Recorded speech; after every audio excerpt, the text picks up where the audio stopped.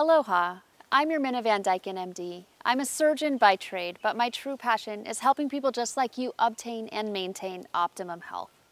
Today's video is a huge topic, but a very important one, the COVID-19 vaccine. Should you get the vaccine? Is it safe? This has been on my mind a lot lately. I feel like so many people are reluctant to get the vaccine. I find it a concerning trend that we're having trouble here in Hawaii filling all of the vaccination time slots. What's up with this? Currently here in Hawaii and in the US, for example, the vaccine is available to anyone 16 or older. Why are people hesitant to get vaccinated? I hope this video will answer a few questions you might have about the COVID-19 vaccine. We're going to review a lot of topics today. Here they are. Are the vaccines safe? Are the vaccines effective? Does the vaccine change my DNA? A quick review of how the different types of vaccines work. Who should not get the vaccine? I'll talk about the blood clot issue with the Johnson & Johnson and Oxford AstraZeneca vaccine. What about all the people who got COVID anyways after being vaccinated? What about the COVID variant strains? Does the vaccine still work? We discuss Israel as a test case, and then we spend some time talking about the side effects of the COVID vaccine versus long-term effects of having COVID itself. If you don't have enough time to watch the whole video and you just want to get answers to any of the questions above, the timestamps are in the video description below so you can jump ahead and see the topics that you're interested in. Okay, buckle up, here we go. Are the vaccines safe? Scientists began developing vaccines for COVID-19 in January 2020, basically right when the virus started raising alarm bells that it could become a pandemic. Interestingly enough, the platforms for the vaccines that the researchers used have been in play for quite a while. The mRNA vaccines like Pfizer BioNTech and Moderna, they're the new kids on the block, and they've received the most skepticism in regards to safety. The COVID vaccine may be new, but the mRNA platform is not. Researchers first started developing the mRNA vaccine platform three decades ago in the 1990s. In clinical trials, the mRNA vaccines were given to over 73,000 volunteers. They were found to be overwhelmingly safe. Compare that to the original MMR vaccine. In 1963, it was trialed on 25,000 participants before being rolled out. According to the FDA, no serious safety concerns were observed with the mRNA COVID vaccines. This led to FDA emergency approval. As of today, over 219 million vaccine doses have been given in the United States to date, and 973 million doses have been given worldwide. Over 89 million people have been completely vaccinated against COVID-19 in the U.S. to date, and over 223 million people have been completely vaccinated worldwide. So we've got plenty of data. In the United States, over 95% of vaccine recipients received one of the mRNA vaccines, either Pfizer or Moderna. The CDC has been closely tracking safety and efficacy of the vaccine. And as of right now, the mRNA vaccines continue to be found quite safe. We'll talk about the Johnson & Johnson Janssen vaccine later in the video. Who should not get the vaccine? Well, if you're under 16, you're not eligible yet, but soon you likely will be. Scientists are looking at this population and ensuring safety prior to opening up this age group to vaccination. So basically, if you are 16 or older, the vaccine will be a good choice for you. Of course, check with your personal doctor first to make sure. The question has been raised whether people who are immunocompromised should get the vaccine. Honestly, if you're immunocompromised, it's more of a reason to get the vaccine because getting COVID in an immunocompromised situation could make for a much more severe COVID disease course with a higher risk of complications. How does the mRNA vaccine work? Going back to my Biochemistry 101 days, we learned that messenger RNA is only a messenger. It's a set of instructions for the cell that tells it exactly what proteins to make. It's very short-lived. It degrades very quickly after delivering the message, like within minutes after delivering the message. It's important at this point to note that the mRNA does not enter the nucleus of the cell. That's where the DNA lives. The mRNA is broken down in the cytoplasm and the newly formed spike protein is released from the cell. It's important to note as well that this is a one-way trip for the mRNA. It's broken down quickly and it never reforms again. In the case of the mRNA vaccine like Pfizer Moderna, the mRNA instructs the cell to make a piece of the spike protein. The body's immune system then learns to mount a defense against that particular spike protein. This spike protein has enough similarities to the spike protein found on the novel coronavirus that your body learns how to be able to fight the real coronavirus. The dendritic cells, a type of immune cell in the immune system, recognizes these spike proteins as foreign and they sound the alarm, which alerts the rest of the immune system like the B and T cells. The immune system releases powerful substances, chemical messengers that direct immune cells to the site of the vaccination. This causes inflammation and explains the fever, fatigue, and tenderness that some people experience after getting vaccinated. So really, feeling a bit run down and tired after getting the vaccine is a good sign. It tells us your immune system's working. Just to recap, at no point is your DNA changed, and any proteins created by the messenger RNA are subsequently killed off by your immune system. The only residual effects of the vaccine are that your body has learned to mount a defense against the spike protein that your body was instructed to create. As far as the ingredients in the mRNA vaccines, there's not many. They're made up of messenger RNA, salt, sugar, and a fat coating. There's no preservatives or extra ingredients here. This explains the need to keep it cold until just before delivery. Currently, both mRNA vaccines require two shots. The second shot is three to four weeks later, depending on the type of vaccine you get. This three to four week wait is important. This is when your B cells are training and making neutralizing antibodies. These neutralizing antibodies recognize the spike protein, and if you were to get infected, it's these antibodies that block coronavirus from entering your cells and infecting you. So after one vaccine dose, you're getting these neutralizing antibodies, but these antibodies don't last forever. That's why you need the second vaccine dose. It's the second dose that helps generate longer-lived immune cells that will recognize the spike protein and protect long-term from infection. Because you already have antibodies on board from the first dose, you'll have a more significant immune system response after the second dose. This immune response really boosts the immune system's memory, and the result is a bigger, better, and faster immune system that has a locked-in memory of the spike protein. Please do not be tempted to avoid the second shot because you want to avoid feeling the side effects. Only one shot does not result in long-lasting immunity.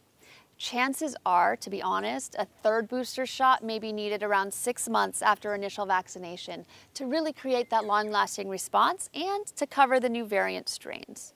This isn't official yet, but we'll see how the science pans out. How do the adenovirus vector vaccines work?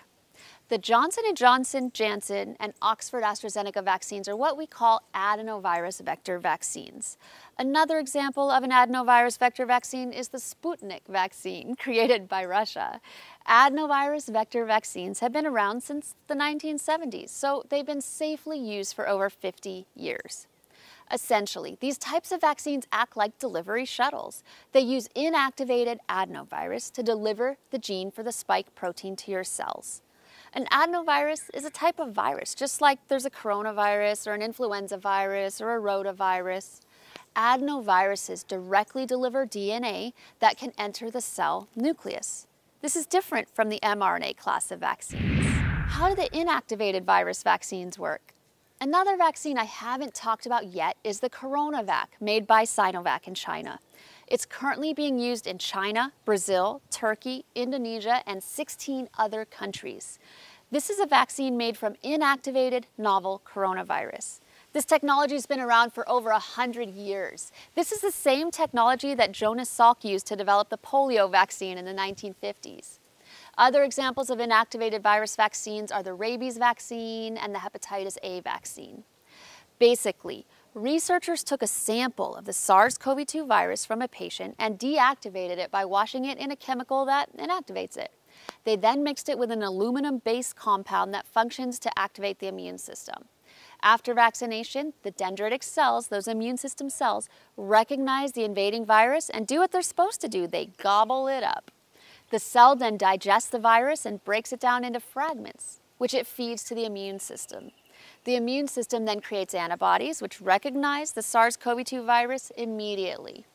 This vaccine is pretty effective. Studies in Turkey and Brazil show that it has an efficacy of 83.5% against COVID-19 symptoms with one or more symptoms, and just over 50% against COVID without symptoms. Do the vaccines change my DNA? Some people are worried that the vaccines will change their DNA forever. I already talked about this a little earlier in the video, but let's answer this question for both the mRNA vaccines and for adenovirus vector vaccines. Let's talk about the mRNA vaccines like Pfizer and Moderna first. If you remember from our discussion a minute ago about how mRNA vaccines work, the messenger RNA from the vaccine only goes into the cytoplasm, not the nucleus of our cells. It then degrades rapidly. Because it doesn't enter the nucleus, there's just no way it can change your DNA. What about the adenovirus vector vaccines like the Johnson & Johnson, Oxford AstraZeneca, and Sputnik? Because the DNA can enter the nucleus, the question has been raised about whether they can alter your DNA. Can they? The answer to that is no. Adenoviruses just don't have the capacity to alter DNA. They just don't have the enzymatic machinery. Additionally, these adenoviruses, they've been engineered.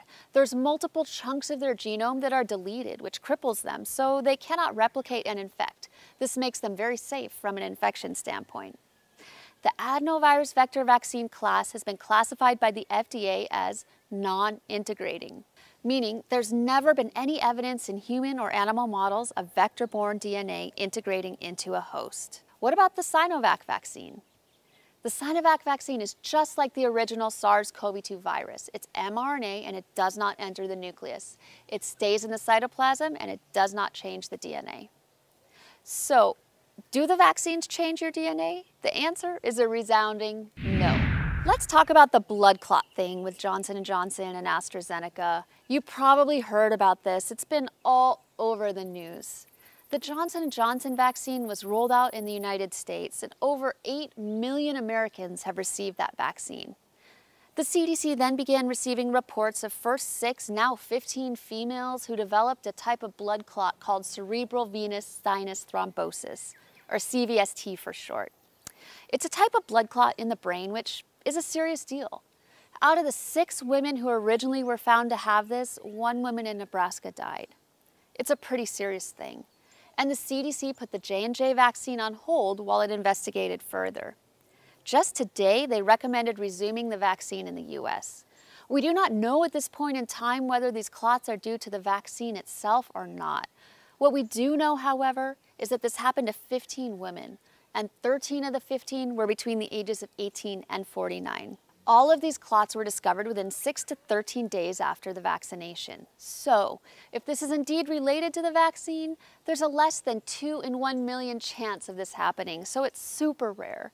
Another way to look at it is there is a 0.00018% chance of getting a blood clot when you get a Johnson & Johnson vaccine also. It happened in a specific group of people, so if you're not a woman between the ages of 18 and 49, the chances are pretty much zero that you're going to develop this complication. What if you've already gotten the J&J vaccine and you're worried about developing blood clots? I wouldn't panic. But if you received it recently, like within one to two weeks ago, and you're developing headaches, leg or abdominal pain, or shortness of breath, I'd see a healthcare provider right away. So I get this question quite frequently.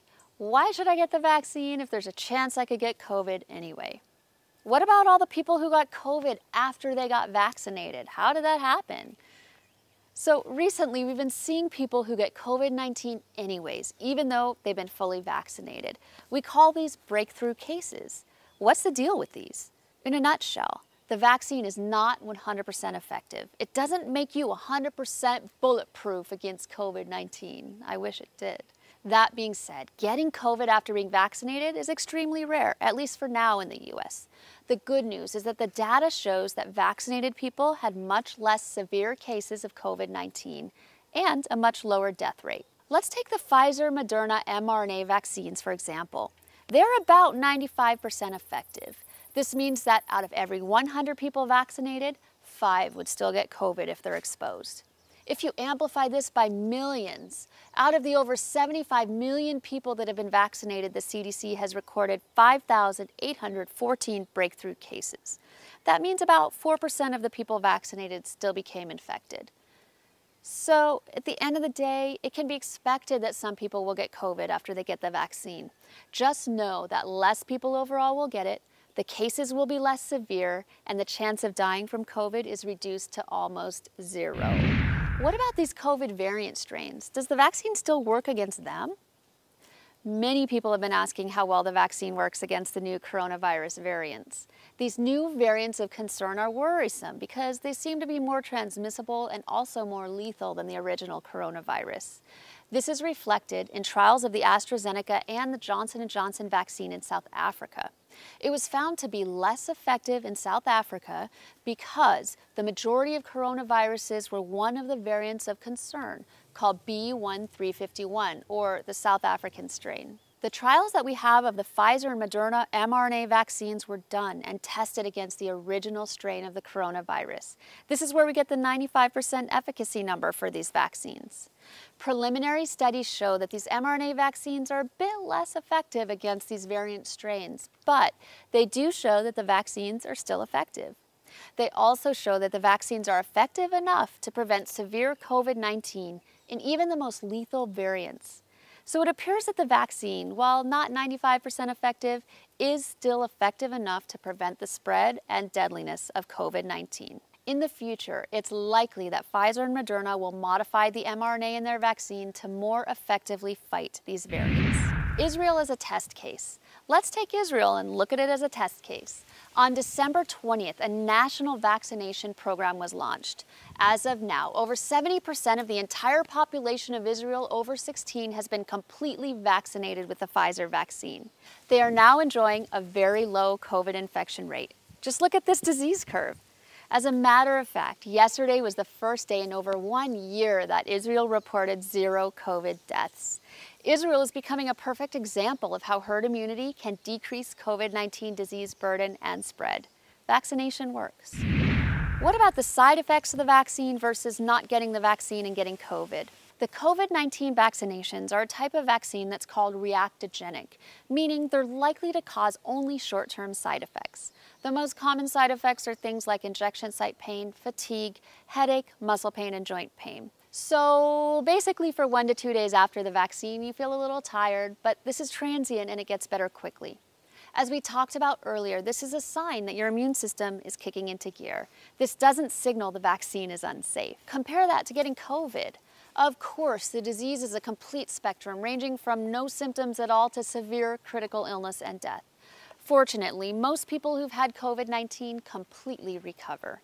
Unfortunately, though, there's a significant portion of people who have long-term effects. The medical community is calling this long COVID.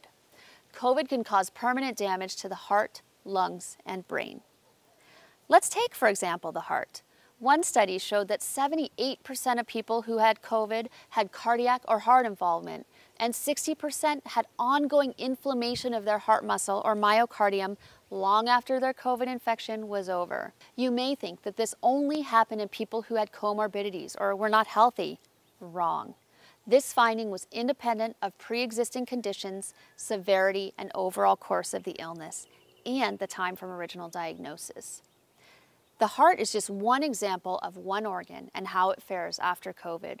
There's many more examples of the same in other organs. I don't know about you, but I'd much rather take a vaccine and deal with the transient side effects as opposed to dealing with permanent changes in my heart or my lungs or my brain from getting COVID, or worse yet, risk dying from the disease. So let's wrap it up. By now, most likely you've known someone who's had COVID or who's died from COVID. I've worked on the front lines with COVID patients. I've held their hands when they're having difficulty catching their breath. I've held iPads up while patients are saying their last goodbyes to loved ones. I've taken care of patients in the office suffering from long-term fatigue, lung, and heart problems as a result of this infection. They just want their life back. As of today, global cases are at an all-time high. This pandemic is nowhere close to being over. If you could drastically reduce your chance of suffering from this disease or even prevent your loved ones from getting this disease, why wouldn't you do that? Especially if the vaccines have no known lasting negative side effects. I hope this video has cleared a few things up and answered any questions you might have about the nuances of COVID vaccines. What questions have I missed? Let me know in the comments below. If you like this video, please give it a thumbs up. If you want to show us some real support, subscribe. Thanks for watching, everyone. Take care, stay safe, and aloha.